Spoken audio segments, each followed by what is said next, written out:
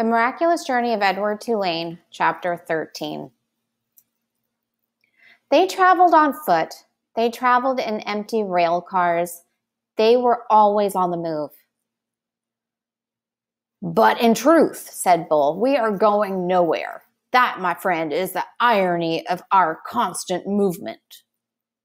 Edward rode in Bull's bedroll, slung over Bull's shoulder with only his head and ears sticking out.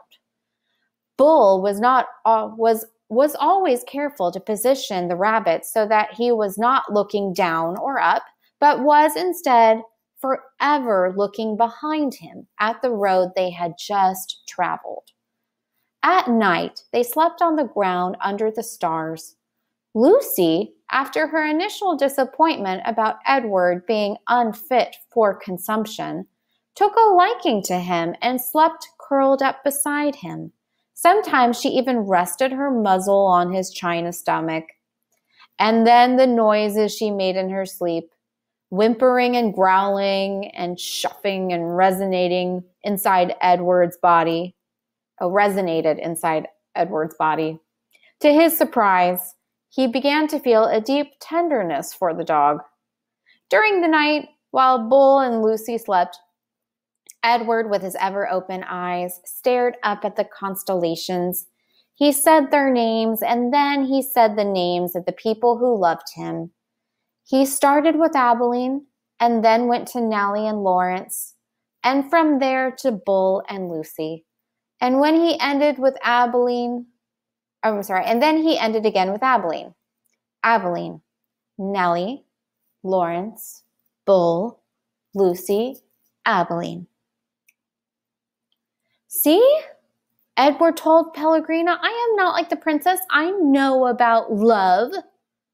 There were times, too, when Bull and Lucy gathered around a campfire with other tramps. Bull was a good storyteller and an even better singer.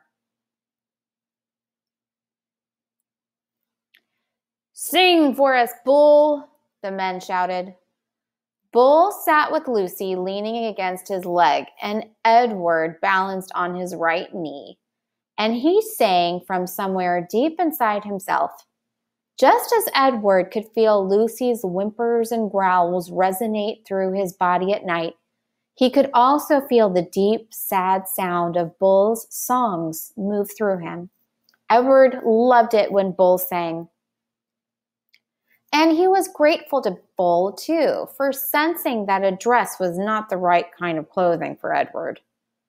Malone, said Bull one night, it's not my desire to offend you or to comment negatively on your choice of garb, but I'm forced to tell you that you stick out like a sore thumb in that princess dress. And also, again, with no wish to offend you, the dress has seen better days. Nellie's beautiful dress had not fared well at the dump or in its subsequent ramblings with Bull and Lucy. It was so torn and dirty and full of holes that it barely resembled a dress anymore. I have a solution, said Bull, and I hope that it meets with your approval. He took his own knit stocking cap and cut a big hole in the top of it and two small holes on the side of it and then he took off Edward's dress.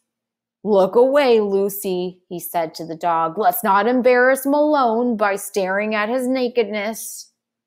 Bull slid the hat over Edward's head and pulled it down and poked his arms through the smaller holes.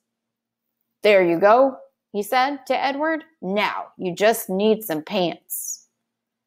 The pants Bull made himself cutting up several red handkerchiefs and sewing them together so that they formed a makeshift covering for Edward's long legs. Now you have the proper outlaw look, said Bull, standing back to admire his work.